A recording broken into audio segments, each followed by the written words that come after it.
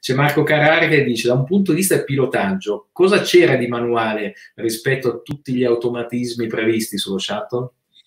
Allora, se la missione è nominale, praticamente non si pilota mai, eh, nel senso che è tutto automatico, tutto attraverso l'autopilota e mh, questo sia per le fasi di, di eh, lancio e di rientro, a parte l'ultima parte del volo, da quando si passa subsonico all'atterraggio, che quella è sempre stata pilotata. E, ehm, in orbita mm, si inseriscono tre dati di coordinate di assetto eh, sul computer e il tempo a cui eseguire, quindi il, poi l'autopilota ti ci porta. E, ehm, però durante la fase di addestramento ci si addestra per andare e tornare completamente in manuale. A parte i primi due minuti,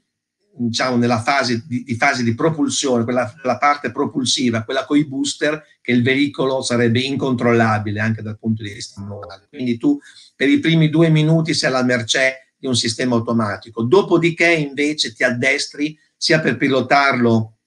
in, eh, diciamo, durante il lancio, sia effettuare tutta la parte di rientro completamente in manuale e anche senza tante strumentazioni, perdendo una parte dei jet di controllo dell'assetto, eccetera, eccetera, addirittura rientrando sulla Terra solo attraverso l'uso delle superfici aerodinamiche, in cui diciamo, soprattutto ad alta quota, anche se sei ad alta velocità, lo shuttle è piuttosto un barcone,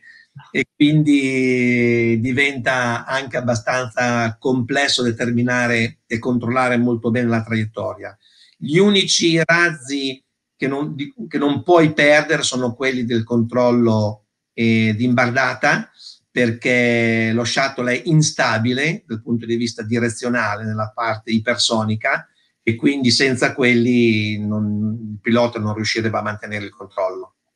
eh, diciamo, soprattutto mi, beh, mi, ricordo esattamente addirittura proprio le sensazioni fisiche del lancio, perché è qualcosa che, che ti colpisce. Innanzitutto il countdown, che normalmente uno lo vede da fuori,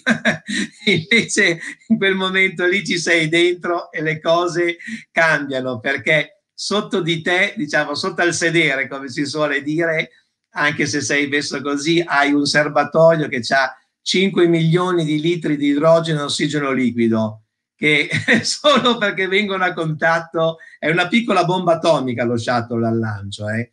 e, e pesa circa 2500 tonnellate a 3500 tonnellate di spinta, quindi posso assicurare che quando si accendono i motori si, si sente. Poi diciamo, il countdown prosegue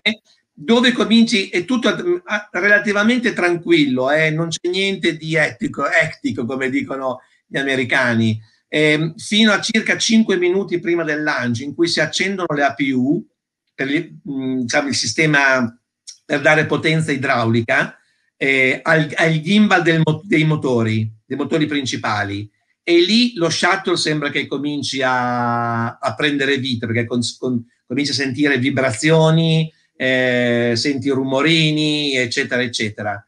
Poi tutto si, tutto si tranquillizza, la gente comincia a parlare molto di meno a quel punto lì. E un altro punto importante sono i due minuti prima del lift off,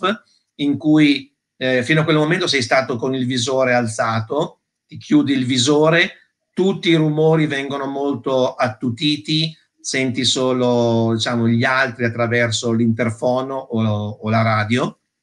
e, e l'altro momento è circa 32 secondi prima del, del lift off in cui il controllo passa dai computer di terra ai computer di bordo, quindi la sequenza di lancio è controllata dai computer di bordo e poi quando cominci a sentire diciamo, il meno 15 va ancora bene, ma meno 10 eccetera,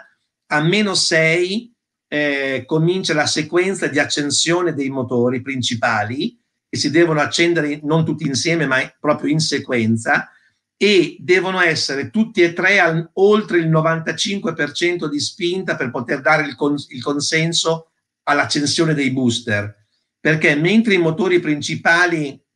potevano essere spenti in qualunque momento. Ci sono state le missioni che l'hanno spento, li hanno spenti a, a, meno, a un secondo dal lift off. Quando si accendono i booster si parte, quelli non si possono più spegnere, quindi tu per due minuti sei attaccato ai booster. A volte durante la fase di eh, addestramento, di training, non sapevamo neanche benissimo dove stessimo andando, ma di sicuro si parte. E lì è stato uno dei momenti, diciamo, più, un po' più da, da batticuore dell'intera missione perché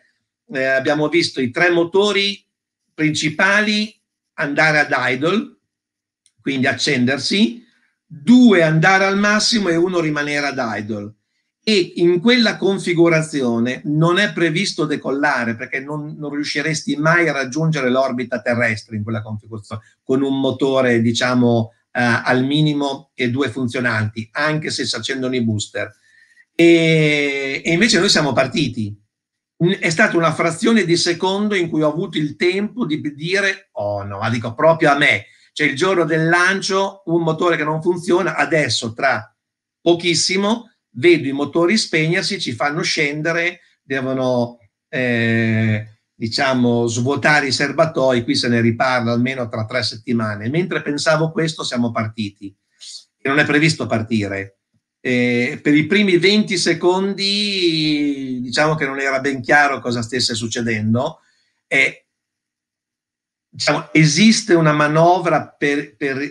di emergenza per rientrare ma che nessuno nella storia dello shuttle ha mai avuto modo di sperimentare dal vero molte volte in addestramento che si chiamava eh, RTLS, eh, Return to Launch Site, che implica che tu te ne vai, ti lanci, lanci verso l'Atlantico in salita fino a circa 360.000 piedi, Mach 5, fuori dall'atmosfera ti giri, i motori continuano a funzionare, quelli che funzionano, arrivi fino a velocità zero e poi a quel punto vedi giù praticamente come un sasso e poi pian piano riacceleri in direzione di Cape Canaveral fino a Mach 3, ti separi dal serbatoio e da lì plani, plani uh, sulla pista di atterraggio. È molto complessa la manovra, anche se, come dicevo, l'avevamo sperimentata diverse volte, ma dal vero nessuno assicurava veramente che avrebbe funzionato tutto perfettamente. E poi dopo 20 secondi invece ci siamo resi conto, confrontando vari parametri, e questo la dice lunga sulla tipologia di addestramento che uno ha alla NASA, che in effetti era un doppio falso allarme. Il motore funzionava al massimo anche se, la,